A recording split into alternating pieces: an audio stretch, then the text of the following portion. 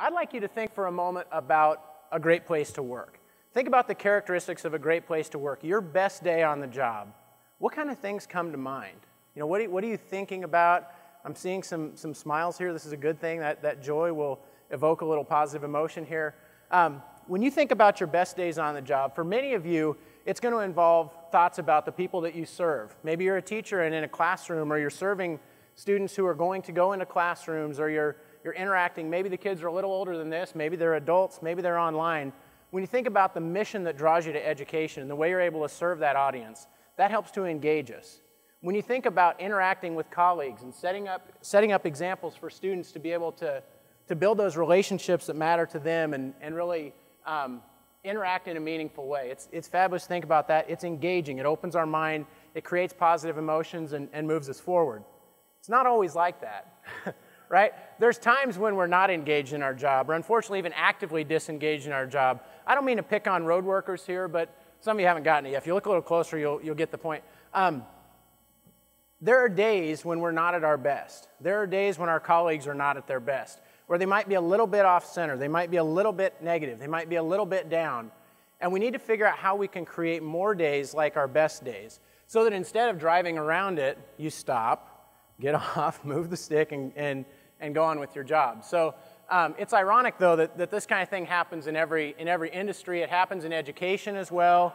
Um, I'm a, I'm a three-time champion of the Odo County Spelling Bee. You might not be, but you still understand there's something wrong with this picture and we can, we can do better, right? Um, I hope that this has been discovered, painted over, and, and fixed. I'd, I'd, like to, I'd like to think that it has anyway. But, so not every day is like our best day, but let's think about how we can create more days like that. So with Gallup Science, we've studied tens of millions of employees over the last several years, all around the world in all kinds of industries, workplaces, including education, and, uh, and a growing number in education, sell out stadiums full of people in education, to really think about what does it look like to be, to be in the workplace and how can we group people together in different categories and start to think about how we lead workplaces differently. So our research has, has really been boiled down to say, oversimplifying here, there's three different types of people in the workplace. There's those who are engaged in their job, who are always looking for more. They're the busiest people who can always take on more. They're great employees and they're, and they're psychologically committed to the work they're doing. They have a heart connection to their job. They're proud of being an employee there. Then there's the not engaged employees, which is in the middle, right? So it's about half of most workplaces where they might be satisfied with their job, but it's more of a transactional relationship. I have a job description, I understand what it says, I follow through on everything in there, I get paid twice a month, I retire in eight years, life's good, you know, and, and from eight to five, Monday through Friday, they're, they're sufficient at their job, but they're not necessarily excellent at their job. And they stop at five, and sometimes the work doesn't stop at five. And they go home and don't think about work. And I'm not saying you have to be a workaholic, but those who are engaged in their job are always thinking about it, and they make those connections. It's about work life integration, not work life balance. And then unfortunately, there's those folks who, who kind of look down their nose and say, this won't work. They're active in their disengagement. If they were just not engaged, that'd be fine. We could, we could manage that and, and work our way through. But they're negative and they're out recruiting additional negativity to join them. And so they're, they're out there and, and trying to pull other people down with them. So our goal is to figure out how can we move people up a step on that ladder of engagement and have more people having more of their best days every day. Um, when we look at the, at the data around the world, and, and particularly on this slide around the country, we find that 30% of the US workforce is engaged. And I just described what that looks like. About half, 52%, are in that holding pattern in the middle that are not engaged. And that leaves those 18% who are actively disengaged. Think about the number of employees at your institution or in your school district and assume you're average. I know you're all better than average. I mean, unfortunately, half of you aren't because that's how the math works. But anyway, um, maybe, maybe since you're here, you're above average. I don't know. I'm, and because you're standing between me and the door. But let's say 18% are actively disengaged.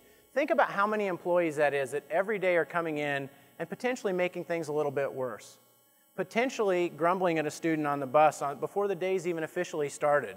You know, potentially hanging up the phone on a student who, who before all their questions are answered, or potentially not addressing the needs of a student who didn't quite get it that day and who really needs a little additional attention and advice. So we really need to think about the impact one at a time. I love to think about big numbers and big data, but there's faces behind those numbers, and we really need to think one student at a time the impact we can have to create more Christinas in our future uh, for the good of all of our students.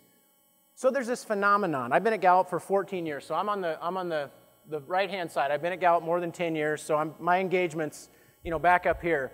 But there's something, this phenomenon about engagement in the workplace. When you start, there's this honeymoon effect. Life's good, right? And maybe I was unemployed, I said yes to the job, maybe I had a couple offers and I chose this one, so that's a good thing. So it's no surprise that we start at the most engaged level. One to three years in, it starts to tail off. It kind of hangs out down in the, in the bottom at three to five creeps up a little bit at 5 to 10 and then really starts to recover by the time you're tenured, 10 years or more. Now, in higher education, if we're looking at tenured faculty, there's probably some relief that comes with that milestone. So maybe there's a, a more immediate bump, a more stated difference there in higher education or in K-12 if you're, if you're a tenured teacher. There's, there's different milestones that probably help drive our engagement. But when I look at this, I think it doesn't have to be this way. I think about what is it about the first day on the job or the first year on the job that's fabulous. Well, my boss took me out for work, told me not to call her, her call her a boss, but, but we're colleagues. Um, they gave me a clear job description and, and, and then explained what it really means. So there's the, the formal one, and then there's the here's what we really expect. Um, people stopped by and built relationships. Somebody invited me over to dinner because they knew I moved here from out of town, and all these kind of moments that matter in our early time in our career.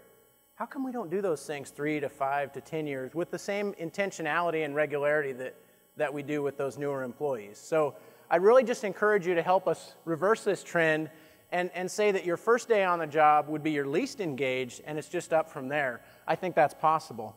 Um, just so you all don't think I'm a hypocrite, this is, a, this is an email that was in my inbox on Monday morning. Uh, Gallup is actually conducting our own internal Q12 survey right now. Twice a year, we measure the engagement of all 2,000 or so Gallup employees.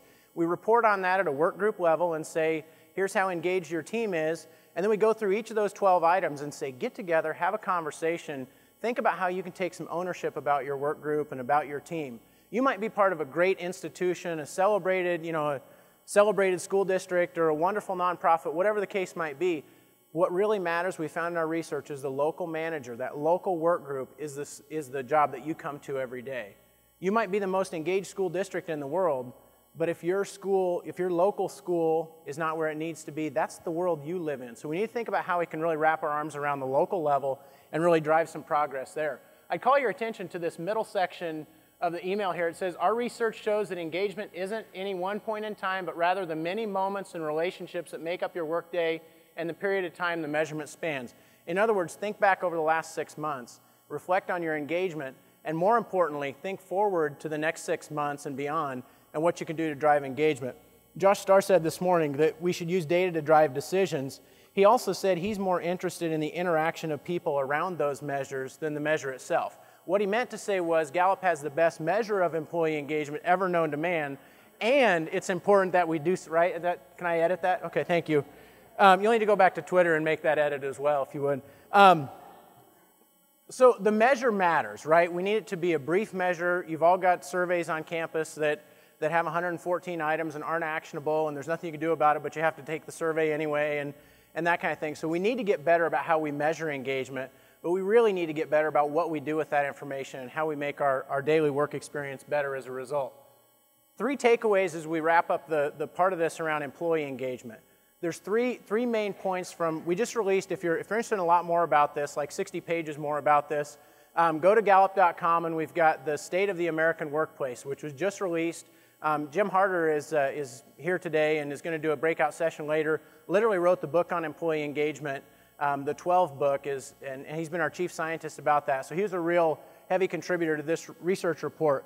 But the three takeaways that we have I mean, first, let's figure out the right people to be managers. And here's a hint it's not always the best teacher that makes the best principal, it's not always the best faculty member that makes the best dean. It's not always the best salesperson that makes the best sales manager or best recruiter that makes the best director of admissions and so on. Management requires a different set of talents than the job itself. Now, sometimes it's important to have been a teacher before you're a principal so that you understand the context and acquire the knowledge and skills, but you're not going to acquire the talent to manage. You probably have that or you probably don't. So let's figure out ways to celebrate those great employees and make the best teacher, the most hopeful teacher, as celebrated as the best principal in the district. And let's think about how we, how we reward that and recognize that and celebrate that in a different way. So I'd encourage you to think about who you name to be managers is critical. Second, let's think about employee development. if we were to look at the strengths of everybody in this room, and I'm, I'm sure we probably have, but at previous conferences like this, learner and input always show up near the top of the list. So I can get all the amens I want about the second point about employee development. Many of you are, are not on 12 month contracts, and you might be even, you know, this might be your summer break, and you're, and you're, you're still here, right? And many of you took two or three days to show up and, and invest in this because there's some great mind candy and some great learning and development that happens as a result.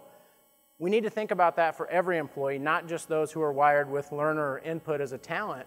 We all have that need to grow and know where we're headed and, and really be a part of the future.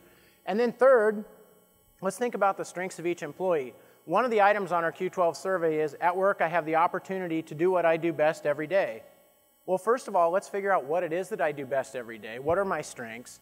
And then let's have a conversation with my manager about how can I do more of what I do best every day. Again, engagement is how involved with and enthusiastic are you about your job. It's easier to be enthusiastic about something you're good at and that you love to do and that you're connected to. So Don Clifton used to say there's cheers and there's chores, right? There's some things we love to do and some things we get to do anyway. So I'm not saying this is an excuse to cross out the parts of your job description you don't like, but I'm saying how can you spend more moments of your day focused on areas that you're good at, focused on areas you're connected to the mission of and you believe you can make a difference around, and how can we really drive that? But we've got to think about the kids, not just our own kids, but everybody's kids, and how, how we can really move things forward in terms of education. Shane mentioned we surveyed a half a million kids last fall. We'll, we'll survey at least that many again this fall and, and ongoing. We made a commitment to offer the Gallup Student Poll free of charge to any public school district in the country that wants to sign up and participate in that. We don't charge a penny for it, and we collect the data. We provide grade level, school level reports back to the district.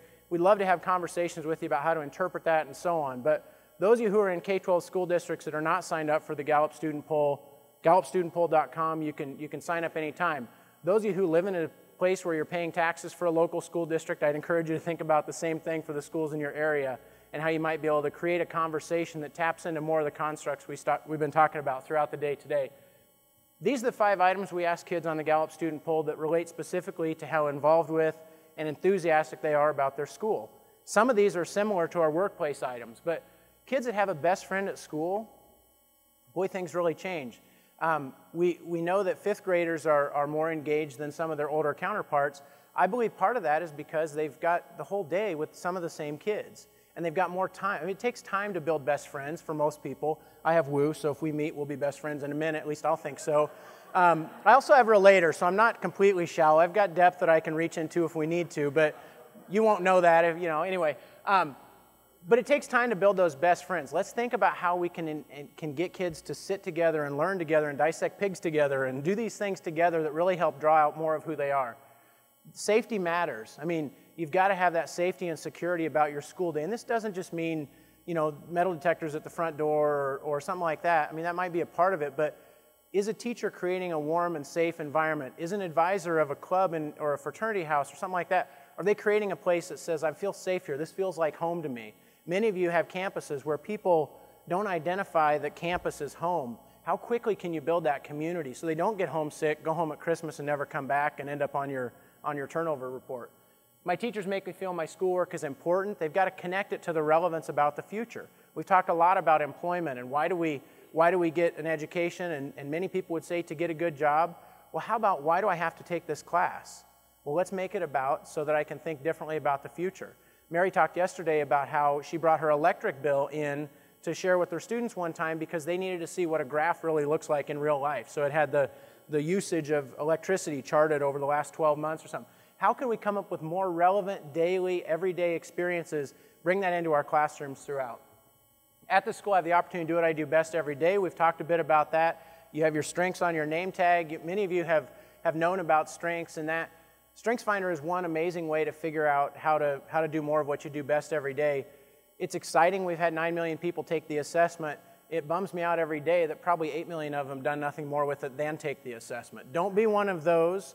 Um, be one of those people who sees StrengthsFinder not as the, the arrival point, now I know my strengths and life's all good. Have that be a starting point in a lifelong development process. I had conversations with Don Clifton a few months before he passed away, and he was still trying to figure out what significance means. And it was one of his top five themes. He wrote the stinking Strengths Finder. If the guy doesn't understand, I mean, if Don Clifton spends his whole life thinking about this, and, and in the last few days of his life is still trying to be more of who he is, I think there's a, there's a lesson in that for us. Also had futuristic in his top five, which probably, probably played into that a bit. And then finally, at, in the last seven days, I've received recognition or praise for doing good schoolwork. Um, this con consistently is the lowest scoring item on our engagement survey with students and is among the lowest scoring items on our, on our employee engagement survey as well. We have this fear that people are going to get too much recognition, they're going to become complacent. I've personally never met anyone who struggles with too much recognition. Um, I'm not saying it needs to be a, a traveling trophy or an Employee of the Month award and everybody gets a turn. It needs to be meaningful and it needs to be personal and individualized. Figure out what's, ask an employee or a colleague, what's the best recognition you've ever received? And then think about how you can draw that in. It's important for us to be recognized in a way that's meaningful to us and individualized. Every kid ought to be, be able to get an A in something. To quote Tony from this morning, let's, let's have it be A, B, we're still working on it. We're incomplete, right? And, and keep moving the bar forward about that. So, Brandon mentioned this this morning, and, it, and it's scary to me because Liam is, is about to enter third grade and is at this high level of engagement. I mean, he is loving life, loving school, can't wait to learn and, and, and really get rolling with things for another semester, another year. Elementary school students, 76% are engaged. Then they leave, elementary school and go to middle school. That's a very difficult transition, and many of you have done, had done some great work in that area. And the percent of engaged students drops all the way from 76 down 15 points, all the way down to 61%. And then it keeps going down all the way down to high school. Now, those of you who work with freshman orientation programs, which I know there's, there's a few dozen of you in the room, you're getting students who are coming at a low point and a downward, and a downward trend. So if you wonder why freshman orientation and freshman retention is such a difficult task. It's because you've got to reverse that momentum that our, our system has somehow created. Now, this is not an excuse, and it doesn't have to be this way. We've got two years to fix it before Liam hits fifth grade and, and we start sending him through the Gallup student. I'm not selfish about this at all. Um, we've got some examples of fabulous high schools that have high hope and high engagement and high well being, and they look statistically more like an elementary school than a middle school or a high school. So let's think about how we can reverse that trend Let's study in higher ed. What does it look like? Are freshmen more engaged and then it kind of trickles down and maybe by senior year they, they pop back up? I don't know. We need to study that together and really, really think about what that looks like. And Chaffey College and Frostburg and others are, are joining us in that kind of work. So, so why do we care about employee or why do we care about student engagement? Well, we fixate too much in this time and age about student test scores. We've discussed that a bit throughout the day today. But let's just assume one of the many missions of education is to, to help students learn and achieve in, in an academic manner. Let's say we care about student achievement.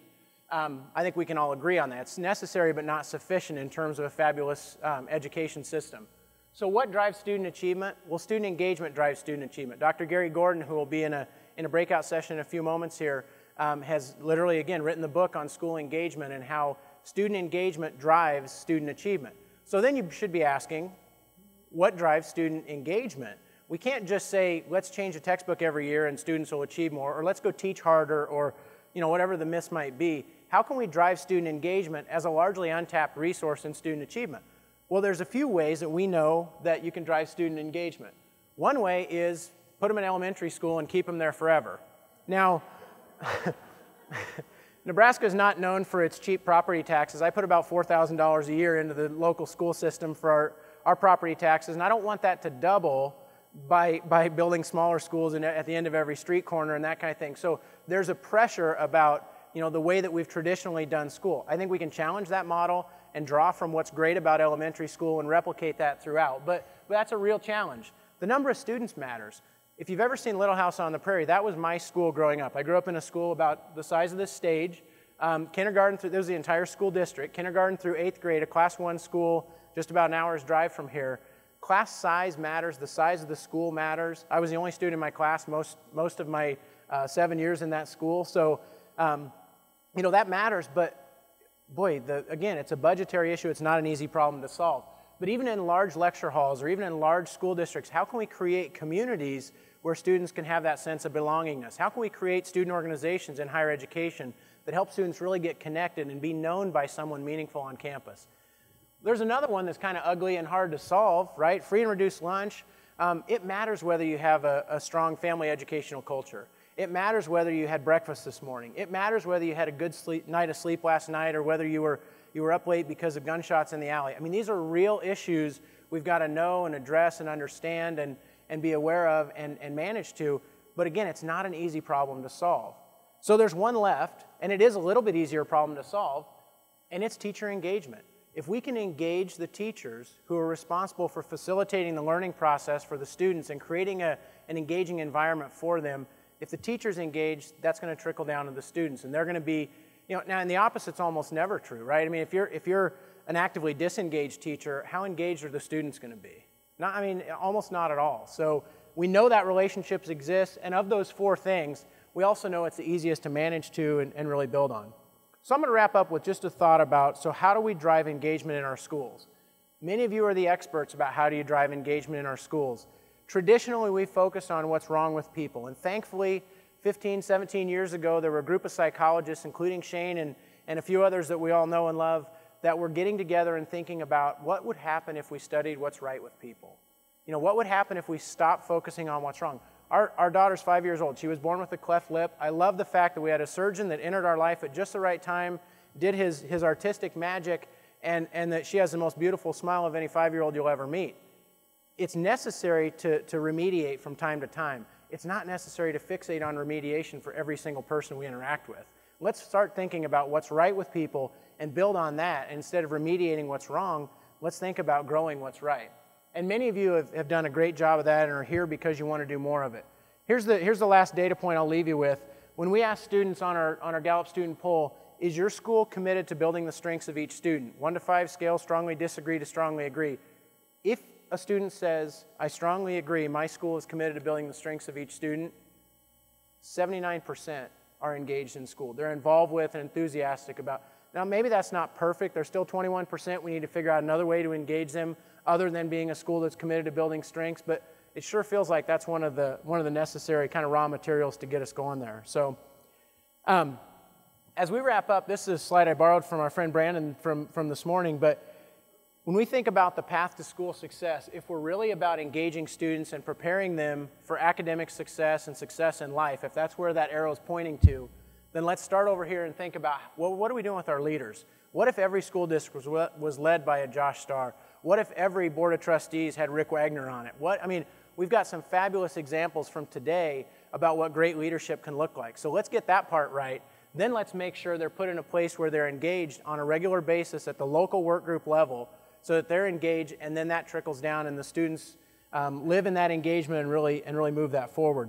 The, the Latin word for education is educe or to draw out of not to pour into. So, why do we think everything about education is content expertise and how much can you retain?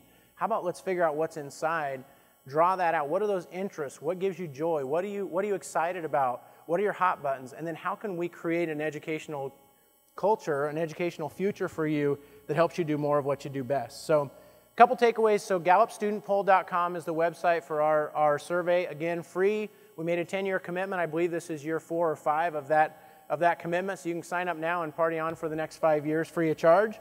Um, so get your school district to do that. The, the field period is during the month of October. You can sign up now and, and um, get, the, get it on the school calendar and things. So we'd love to have you join us in that project. Um, would also love for you to think about um, how, what you can do personally to drive engagement in your work group. This is the Q12 survey is not a manager evaluation. It's not the manager's job to make sure you're all engaged. It's one of their jobs. They ought to be creating the conditions for that. But we each need to be owners about our own engagement and partners about that with our colleagues.